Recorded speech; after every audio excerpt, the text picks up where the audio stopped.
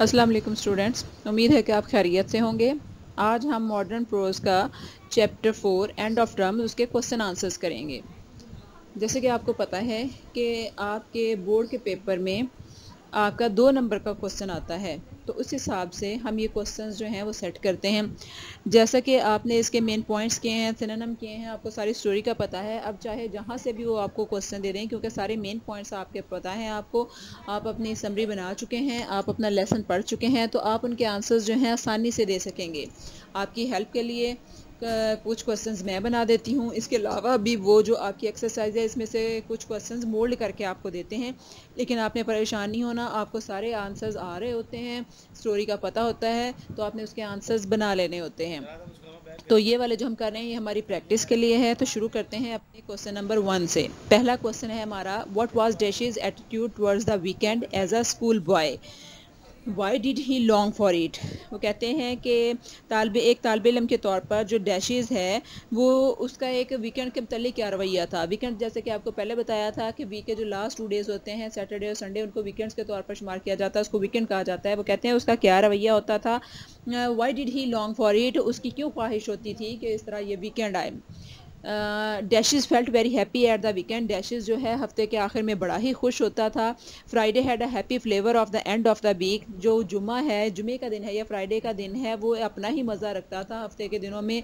On a Friday afternoon एक Friday की जो दोपहर होती थी he walk home like an escape prisoner वो अपने घर में ऐसे दाखिल होता था, जैसे कि कोई प्रिजनर जो कैदी है, वो फरार होकर आया हो। Friday night with two holidays lying ahead Friday की जो रात थी उसे आगे दो छुट्टियों के साथ was the best night of the week उसके लिए बेहतरीन रात होती थी हफ़्ते की। जैसे कि हमने पहले भी पढ़ा था कि जो फ्राइडे नाइट होती थी, उसमें आकर वो इतना खुश होता था क्योंकि उसके आगे उसको अगले दिन सुबह सुबह उठना नहीं पड़ता था। वो जो आवाज़ मेड की आती थी कि उठ जाओ, स्कूल के लिए तैयार हो जाओ, जिसको वो जहन्नुम की आवाज़ कहा करता था, वो उसको नहीं सुननी पड़ती थी तो वो कहता था कि मैं रिलैक्स होकर सोऊँगा, सुबह मुझे उठाने के लिए कोई ना आए। वो कहता वो उसके वीक की बेस्ट नाइट होती थी।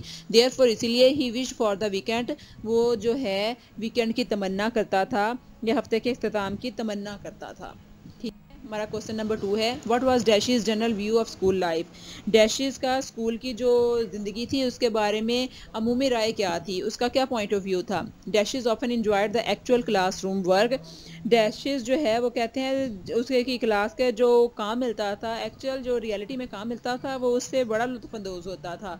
He was not a weak student और वो एक कमज़ोर तालब इलम भी नहीं था but the daily work of the school school लेकिन जो स्कूल का, जो रोज़ाना का काम था अलोट ऑफ़ होमवर्क और घर में दिया जाने वाला जो उसका काम था the hard competition among the students और लड़कों के दरमियान जो सख्त किस्म के मुकाबले होते थे पढ़ाई में and the sense of not being relax pressed him heavily और एक इस तरह के एहसास, एक इस तरह की फीलिंग कि जिसमें वो सख्त जहनी दबाव में रहता था वो उसको प्रेशर में रखती थी, इन सारी चीज़ों को वो जो है पसंद नहीं करता था स्कूल की, ठीक है? इसके बाद नेक्स्ट हमारा क्वेश्चन है Dash is liked holidays for their freedom freedom for what वो कहता है कि डैशेज़ को जो है छुट्टियाँ इसलिए पसंद थी कि इनमें आज़ादी थी। वो किस किस्म की आज़ादी थी? या किस चीज़ से आज़ादी थी? डैशिज लाइक हॉलीडेज़ डैशिज छुट्टियों को पसंद करता था। For they gave him freedom क्योंकि ये उसको आज़ादी दिलाती थी from the school's boring work school के उकता देने वाले काम से। ही जी don't like the daily work of the school वो स्कूल का जो रूटीन का डेली काम था उसको पसंद नहीं करता था। हाउएवर ताहम अ लॉट ऑफ़ होमवर्क एक बहुत ज़्यादा जो होमवर्क दिया जाता था, घर का काम दिया जाता था द हार्ड हार्ड कंपटीशन और जो सख्त मुकाबला होता था लड़कों के दरमियान पढ़ाई के सिलसिले में and the sense of not being relax pressed him heavily और उस बेफिक्र ना होने का एहसास जो है, वो भी उसको सख्त जहनी दबाव में रखता था। देयर फॉर इसीलिए he felt freedom during the holidays वो जो छुट्टियाँ थी, उनमें वो आज़ादी महसूस करता था। ठीक है स्टूडेंट्स ये आज के हमारे क्वेश्चंस थे। उम्मीद है कि आपको पहले से इसके आंसर्स पढ़ता होंगे। आप इससे बेहतर भी सेट कर सकते हैं। आप अपनी एफर्ट कर सकते हैं, इसको सेल्फ राइटिंग में लिख सकते हैं। हमारा मकसद उसका आंसर का क्वेश्चन का आंसर उनको देना है तो आप हर तरीके से इसको कर सकते हैं। अपने सेल्फ राइटिंग में कीजिए तो आपकी प्रैक्टिस होगी।